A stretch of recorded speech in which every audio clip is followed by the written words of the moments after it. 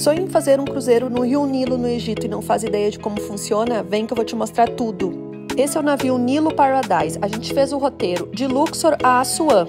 O navio tem quatro andares e ainda tem um terraço. O restaurante é simplesmente maravilhoso. São várias opções gastronômicas e eu, como sempre, de olho na sobremesa.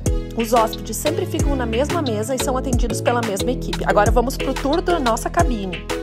Ficamos no quarto andar e nossa cabine era super espaçosa, com banheiro, cama de solteiro, um espaço de bar, TV, cama de casal e o que a gente mais curtiu foi a sacada com vista para o Rio Nilo. Acordar todo dia com essa vista aí era maravilhoso. Outro local que curtimos muito foi o terraço, principalmente para apreciar a vista do Nilo. Teve um dia que teve até churrasco no terraço e a gente aproveitou para brindar com o vinho egípcio essa viagem maravilhosa. Curtiu? Então me segue que eu estou compartilhando toda a viagem do Egito.